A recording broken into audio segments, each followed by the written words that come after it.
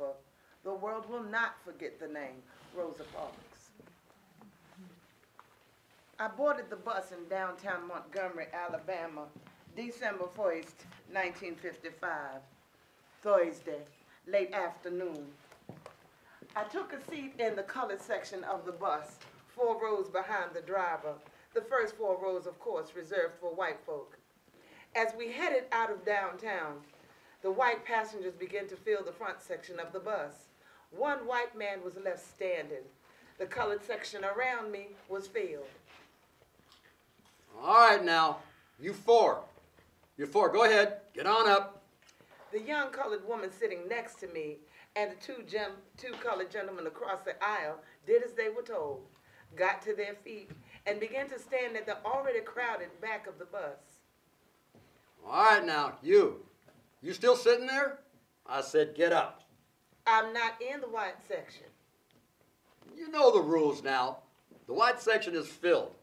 So I need you to vacate that seat so this man can sit. There are three perfectly good seats available to him. I've seen you on this bus before. You know good and well that the whites and coloreds can't share a row. Now I have the right to make room for other passengers. The white section is full. And so I say, you need to get up and go on to the back. Y'all gonna make it hard on yourself y'all gonna move? I'm not moving. I paid my fare. I'm in the colored section. I'm not moving. Then you know what needs to be done. I'll call the police. You may do as you must. I had been pushed to the point where I was tired of being pushed.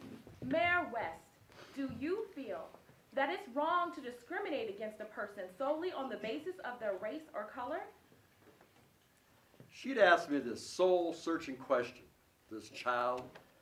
It was asked of me as a man, and I decided to answer, frankly, honestly. And in my soul, I knew it was not right.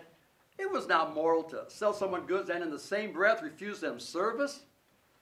And I had to answer it just exactly that way. Did I expect criticism? Yes. And still, I wouldn't regret my answer that day. It was a moral question, one that a man had to answer, not a politician.